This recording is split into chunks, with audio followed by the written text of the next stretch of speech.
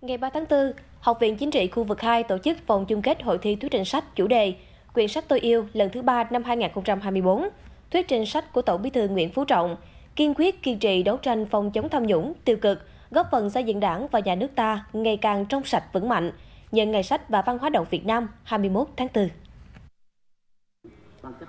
Phát biểu khai mạc hội thi, Phó giáo sư tiến sĩ Nguyễn Quốc Dũng, Ủy viên Ban Thường vụ Đảng ủy Học viện Chính trị Quốc gia Hồ Chí Minh, Bí thư Đảng ủy, Giám đốc Học viện Chính trị khu vực 2 cho biết, hội thi năm nay được tổ chức với mục đích triển khai đợt sinh hoạt chính trị, tư tưởng về nội dung tác phẩm, kiên quyết kiên trì đấu tranh phòng chống tham nhũng, tiêu cực, góp phần xây dựng Đảng và nhà nước ta ngày càng trong sạch vững mạnh. Của Tổng Bí thư Nguyễn Phú Trọng đến toàn thể đảng viên, viên chức, người lao động và học viên, góp phần lan tỏa những nội dung cơ bản, cốt lõi của tác phẩm và củng cố niềm tin vào công cuộc phòng chống tham nhũng, tiêu cực và sự nghiệp cách mạng dưới sự lãnh đạo của Đảng ta.